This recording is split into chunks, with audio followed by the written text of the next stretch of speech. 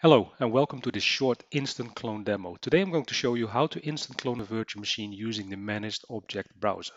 Of course you can also use a scripting language and William Lam has a whole bunch of uh, posts on that. But before we can do that we first need to find the virtual machine. So we're going to go to the virtual machine group and we're going to select the CentOS virtual machine in this particular case.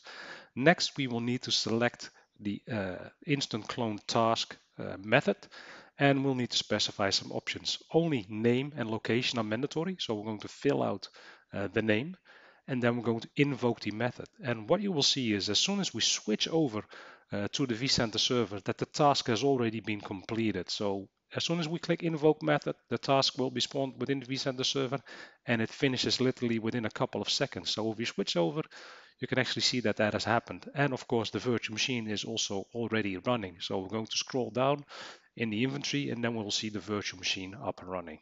How cool is that? Literally a new virtual machine within seconds.